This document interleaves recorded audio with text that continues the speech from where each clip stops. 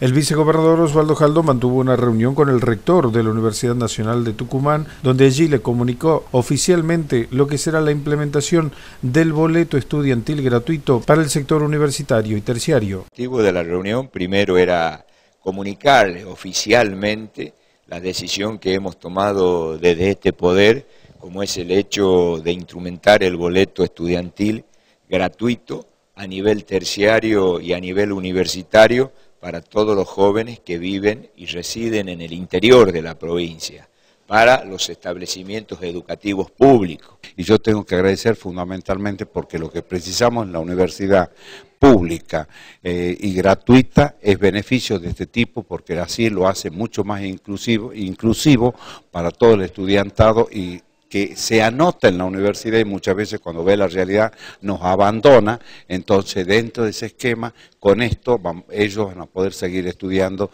y vamos a hacer un, ofrecer desde la universidad, a decir, esto es lo que precisamos tanto en nuestra provincia de lo que es el sistema educativo. Así que es un paso sumamente interesante. Se han mostrado muy interesados fundamentalmente en colaborar, ya que esto estamos dando recién los primeros pasos y lo queremos dar con la Universidad Nacional de Tucumán, lo queremos instrumentar a través de la Universidad Nacional de Tucumán, es decir, hacerlo desde el punto de vista institucional conjuntamente.